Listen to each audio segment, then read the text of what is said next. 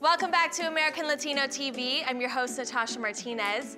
Up next, we go behind the scenes of a new documentary film called Strike a Pose. The film catches up with the seven dancers who performed on Madonna's infamous and controversial Blond Ambition tour, which was the basis for the hit 1991 film Truth or Dare. Because of it, several of the dancers unwittingly became icons for gay rights and sexual freedom.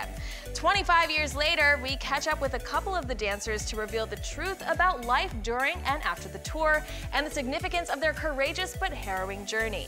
Check it out, it's a story you'll see only on American Latino TV. American Latino Athletes, presented by McDonald's.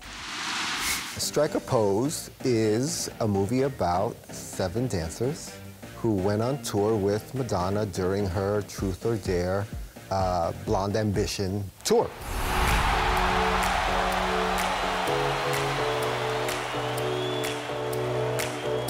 That tour is about freedom. Freedom as a human being, freedom in regards to speak the truth.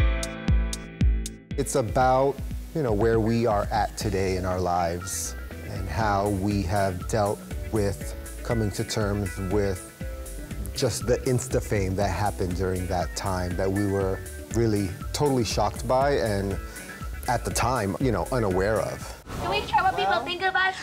No!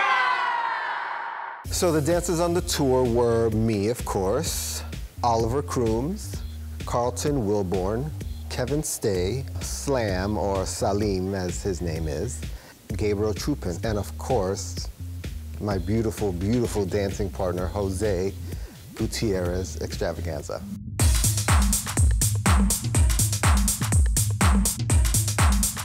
The House of Xtravaganza is an, an organization, an artistic group of kind of like freedom, freedom writers, I want to say, you know, from the community that made something out of nothing.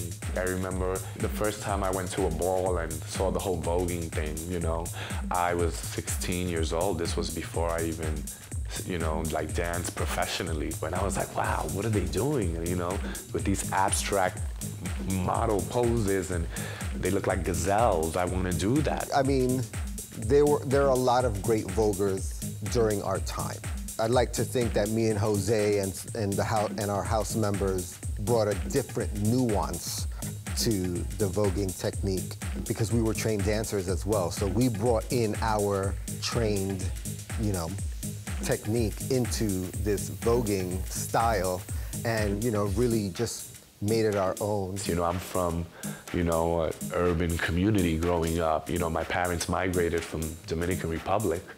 You know, they weren't, they didn't set out to make me a ballet dancer, that's for sure. You know, that wasn't in the cards. So it was cool that I got this opportunity. And then um, I um, went on tour with Madonna. I, I, unbeknownst to me, I met her at a club through a friend, and she had heard about the voguing and heard that I was pretty good at it. Can you believe that? Does that sound like, no, that's a lie.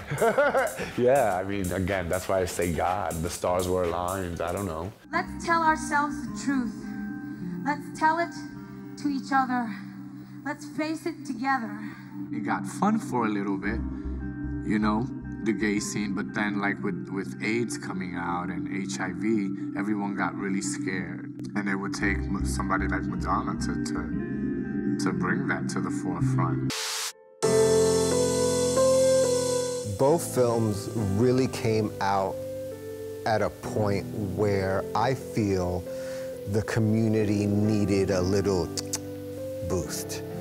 Truth or Dare came out when the community needed a stronger voice, a voice that can reach more people than what the voices were reaching back then.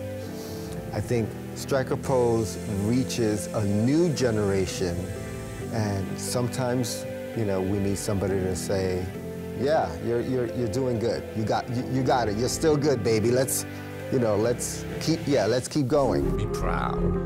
You know, be proud, whatever it is. Because everyone is someone.